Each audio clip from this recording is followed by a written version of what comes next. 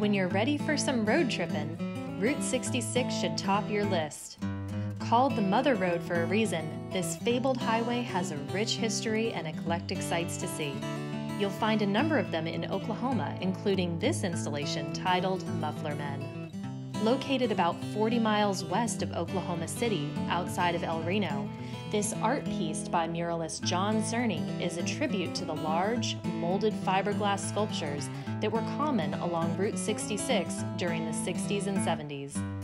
The original Muffler Men were larger than life statues representing different characters that were used as advertising or roadside attractions.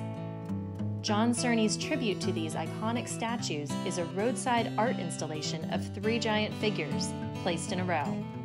Due to harsh weather conditions, the installation was challenging, with the artist and workers facing cold temperatures and high winds. Over the course of three days, holes were dug, cement was poured, support beams were erected, panels were placed, and bracing added.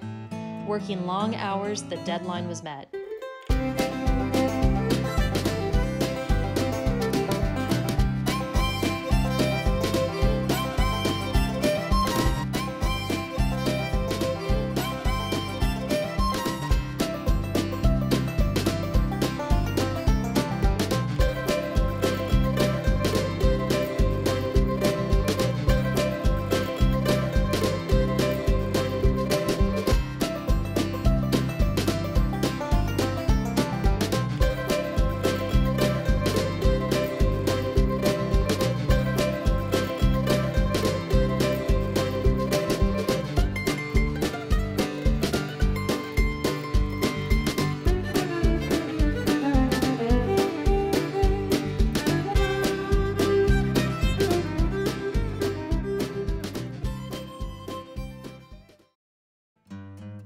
The three 18 foot figures now stand tall.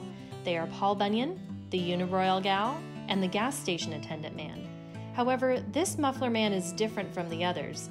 Instead of the normal stiff pose that was forced upon the characters by their creators, he has broken free and is busting a dance move. The twist, actually.